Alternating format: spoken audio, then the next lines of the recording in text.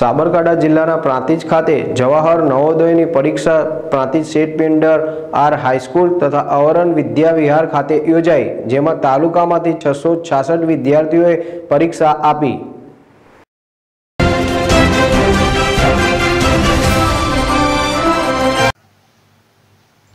પ્રાંતિજ ખાતે જવાહર નવોદયની પરીક્ષા યોજાઈ હતી. જેમાં પ્રાંતિજ સહિત તાલુકામાંથી ધોરણ પાંચમાં અભ્યાસ કરતા કુલ પાંચસો બત્રીસ વિદ્યાર્થીઓએ પરીક્ષા માટેનું ફોર્મ ભર્યું હતું. જેમાં આજ રોજ પ્રાંતિજ સેટ પીએનઆર હાઈસ્કૂલ કેન્દ્ર ઉપર ચારસો પચીસ વિદ્યાર્થીઓમાંથી ત્રણસો સિત્તેર વિદ્યાર્થીઓએ પરીક્ષા આપી હતી. તો પરીક્ષાથી પંચાવન વિદ્યાર્થીઓ ગેરહાજર રહ્યા હતા. તો અવરણ વિદ્યાવિહાર ખાતે કુલ એકસો સાત વિદ્યાર્થીઓમાંથી કુલ સન્નું વિદ્યાર્થીઓએ પરીક્ષા આપી હતી. જેમાં અગિયાર વિદ્યાર્થીઓ ગેરહાજર રહ્યા હતા. તો બંને સેન્ટરોમાં કુલ ચારસો ચોસઠ વિદ્યાર્થીઓ પરીક્ષા આપી હતી. તો બાળકો શાંતિમય અને શાંતિપૂર્ણ વાતાવરણ પરીક્ષા આપી હતી. તો શેઠ પીએન્ડર આર હાઈસ્કૂલ ખાતે શાળાના આચાર્ય મીઠાભાઈ પટેલના અધ્યક્ષસ્થાને પરીક્ષા લેવાઈ હતી.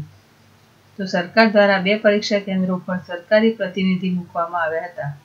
તો તાલુકા પ્રાથમિક શિક્ષણ અધિકારી ટીકે વાઘેલાના નિરીક્ષણ નીચે શાંતિપૂર્ણ પરીક્ષા યોજાઈ હતી.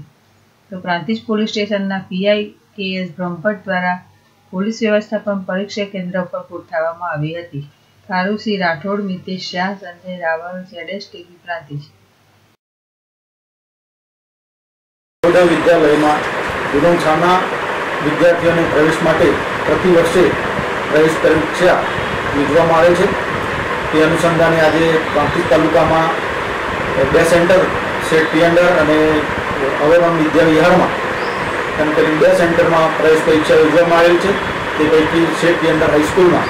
આજે કુલ ચારસો પચીસ પરીક્ષાર્થીઓ ગુજરાતી, અંગ્રેજી અને હિન્દી માધ્યમમાં મળી પ્રવેશ પરીક્ષા નોંધાયેલા.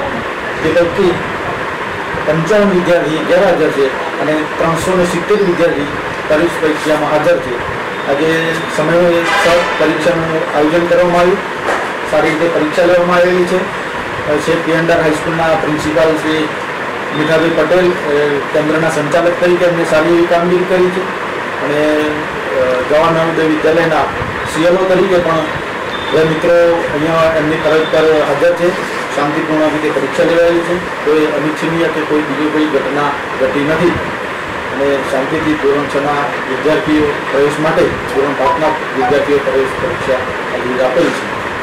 આ સિવાય કોઈ ઘટના ઘટેલ નથી.